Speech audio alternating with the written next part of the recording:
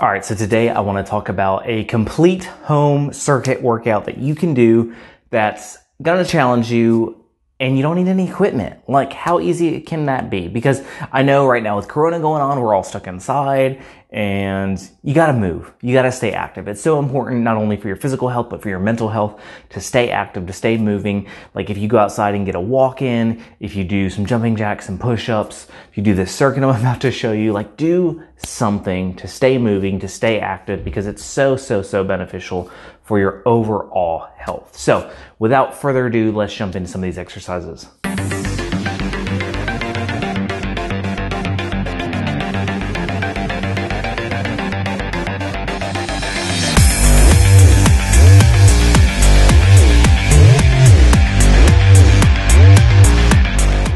All right, the main thing with circuit exercises is to keep moving. And I know it's, you're going to get tired and you're going to want to take a break and that's okay to do, but make sure that those breaks are short and sweet. Like keep your breaks to 30 second minimum. And even if when you go back into the exercise, you're not able to do it for the full length of time, like that's okay. Take breaks as needed, but keep them to a minimum because that's going to keep your heart rate elevated. It's going to get you a better burn and it's going to just be a better overall workout.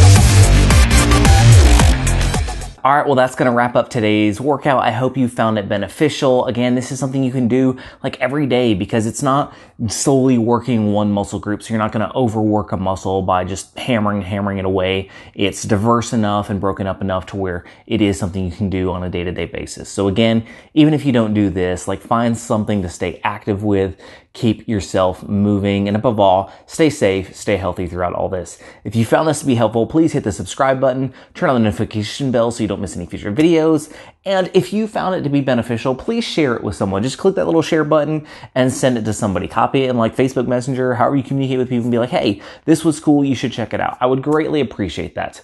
All right, y'all have an amazing day, and remember, you've got this.